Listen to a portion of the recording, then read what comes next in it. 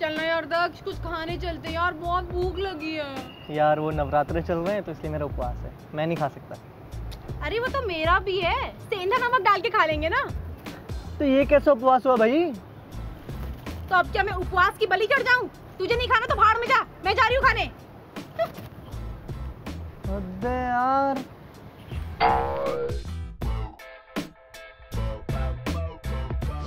वाह। भैया, या तो इनका हिंदी में हार्ट टाइट है या फिर दिमाग से डील है, ठीक है ना?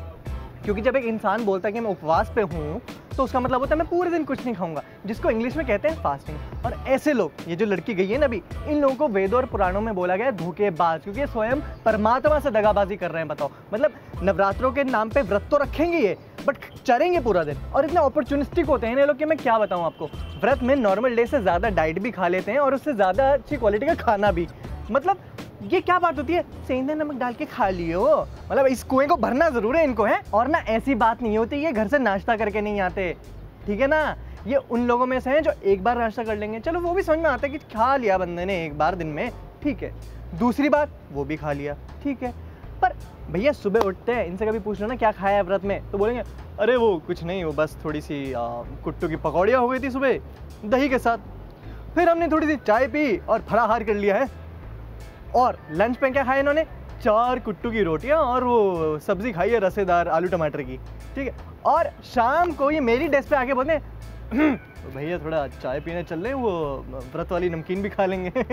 और रात में तो इनको बड़ी मासूमियत के साथ व्रत तो तोड़ना है ही उसमें तो पूरी मील खाते हैं ये।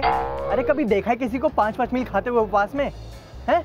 और इनसे भी एक महान कैटेगरी होती है। बताऊँ कौन सी? जो बोलते तो हैं कि हमने उपवास नहीं रखा बट खाना वो सारा उपवास वाला खाते हैं।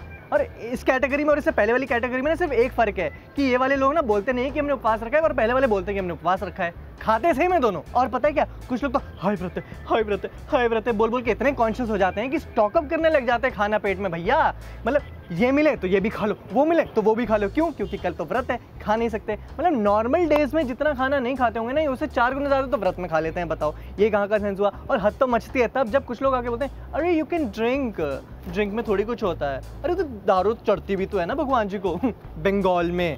मतलब कुछ भी। और एक होते हैं इंजीनियरिंग के दिमाग वाले लोग। पता है आगे कितना कन्वीनियंटली बोलते हैं, हमने तो ना जोड़े में व्रत रखा है।